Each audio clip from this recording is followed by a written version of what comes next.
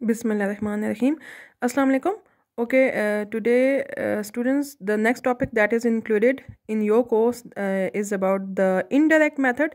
We have already talked about the direct method, and uh, there was only one method uh, that was uh, in your course, and that was the Doolittle's method. In indirect method, we are going to discuss two methods. First one is a Jacobi iterative method, and the second one is the Gauss-Seidel iterative method. So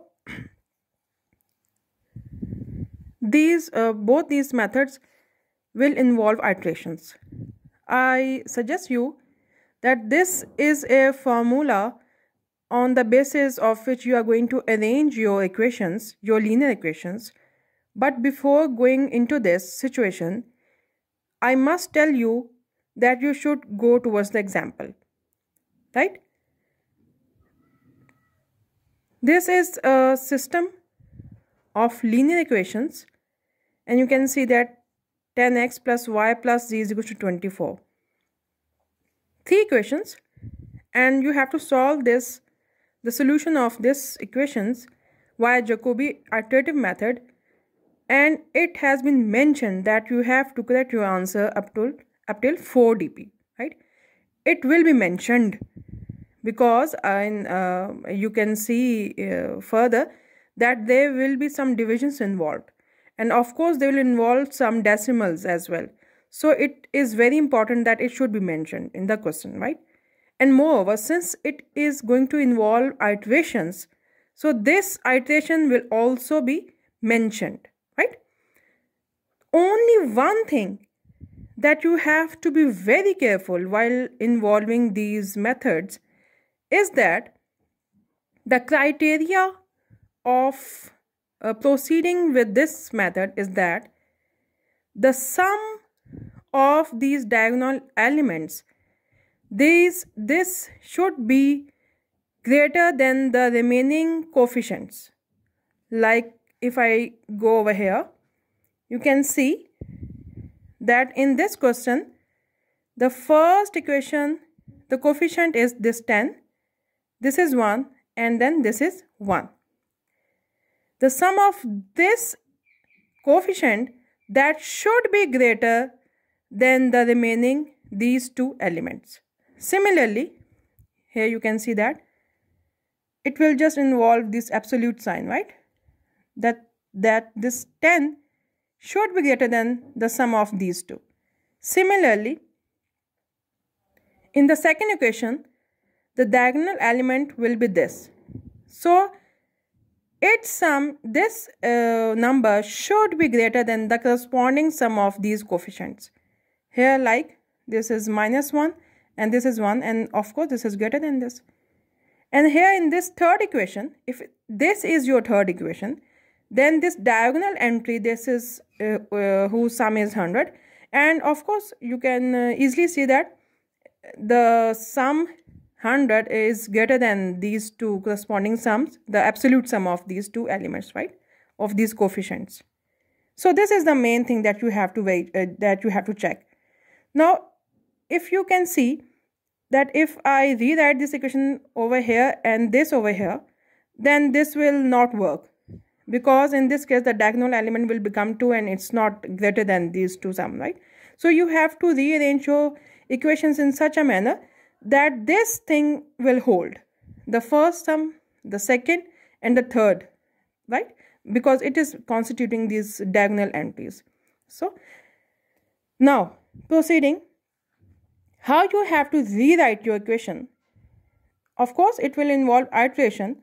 So what you will do first that i have rewritten the system since it is my first entry. So what i will do जब आप ये लिखेंगे तो फिर उसके बाद आप ये देखेंगे कि उसी तरीके से हमने इसको अरेंज किया है। If this is ten x then write it in this form twenty four minus y and then minus z सही? अभी टेन को जेन में रखिएगा sir here I have written x equals to 24 minus y and then minus z. और फिर उसके बाद जो x के साथ कोफिशेंट था 10 उसको मैंने डिवाइड कर दिया। जब डिवाइड कर दिया, क्योंकि I have to write this number alone without any product और division number right so x is equal to जो ट्वेंटी फोर था टेन से डिवाइड हुआ तो I have written it in this form right so twenty four minus that one over ten will be written in this form point one right एक दफ़ा आप इसको equations को लिख लें पहले। और वो जो के प्लस वन है और वो जो के है, वो बाद में आपने ऐड करना है। अब यहाँ पे जो लेफ़्ट साइड पे जो नंबर रहेगा that will be twenty y that is equal to twenty one plus x and then minus z देखें। और फिर उसका जो कोफिशेंट था वाई का दैट वाज ट्वेंटी ट्वेंटी को फिर you are going to divide right सही? एक दफ़ा आपने जब यहाँ पे लिख लिया सिमिलरली इस इक्वेशन में आप देखें, आप लिखेंगे hundred z that is equal to three hundred plus x plus two y एक दफ़ा जब लिख लें, फिर उसके बाद उसको स्टेप वाइज डिवाइड करें, और डिवाइड करने के बाद देखें, वो थ्री हंड्रेड डिवाइड करेंगे हंड्रेड से तो of course you will be getting three over है और फिर यहाँ पे similarly you are getting this अब आपने क्या करना है what you have to do जब आप एक दफ़ा सिस्टम को लिख लें तो जो लेफ़्ट साइड पे जो आपके सिंबल्स हैं उनके पावर पे आप, ये आइट्रेशन सिंबल ये पावर को नहीं उससे शो करा ये उसके आइट्रेशन को शो करा you don't have to get confuse that if k is to one it will be x square no not at all it's not x square it is the iteration first iteration और second iteration और third iteration you don't have to do square in this case this is very important right on the left hand side you have to just put k plus 1 k plus 1 and k plus 1 and on the right hand side you just have to put all the variables you have to give all the variables and iteration k सही जब दे दिया तो zero order iteration तो आपको already given है when you will put k is equal to zero हमेशा पहले एक दफ़ा पुट कर लें डायरेक्ट डायरेक्ट इसको मत करें मैं आपको ऑलवेज सजेस्ट करती हूँ when ever you are doing these attrition question Always do it stepwise. First of all, put k is equal to 0 in this. You will be getting first iteration that is equal to this. y first iteration that is equal to this. And z first iteration that is, that is equal to this. Now when you will put because it's already given that all these y power 0, z, uh, z power 0 and x power 0 first order iteration is equals to 0. So of course this will be equal to 0 and you will be left with these values right. So this is your ये जो answer है आपका, ये ये answer है।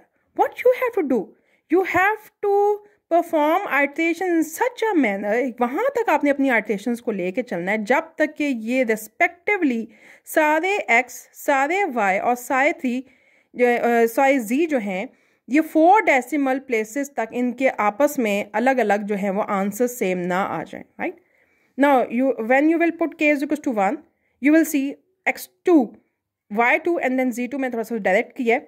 पहले आप उसका यहाँ पे फॉर्मूला लिखेंगे of course they would be y one z1 x1 z1 x1 and then y one अब जब ये y1 z1 x1 आ गए वैल्यूज़ तो वो ये वाली वैल्यूज़ हैं जो कि आप इस आइट्रेशन के अंदर यूज़ करेंगे, ठीक है?